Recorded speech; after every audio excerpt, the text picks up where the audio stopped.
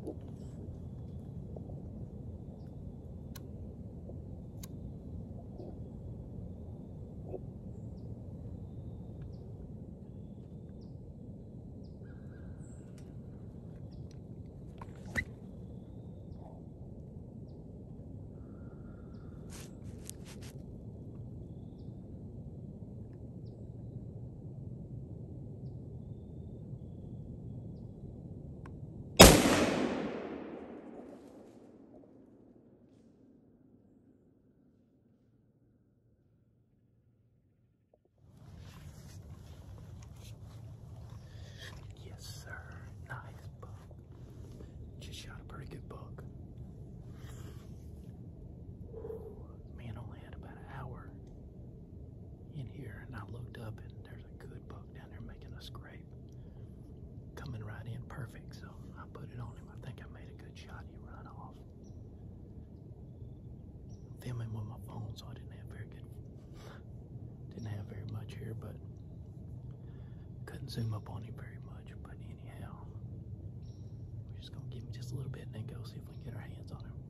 I think I got him. I hope so. Beautiful spot in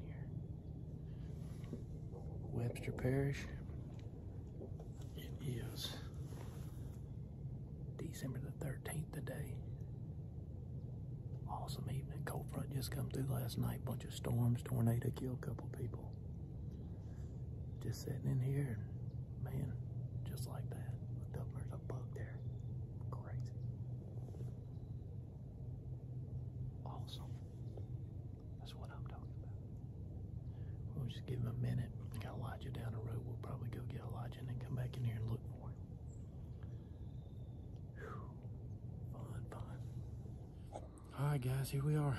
Um, I went down, picked up Elijah, came in here, found really good blood right there where it hit him, bunch of hair. He just run in here and fell down, and we just got to him. Nice Louisiana buck. He definitely ain't no giant, but he's close to home and and a really nice buck. So looky there. Put a good shot on him. He right perfect where you're supposed to hit him at. And uh,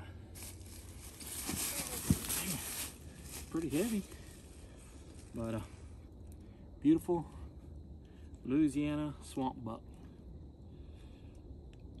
Fun hunt this evening. Temperature dropped off and thought they'd be out moving. Sure enough, that dude come in and hit that scrape.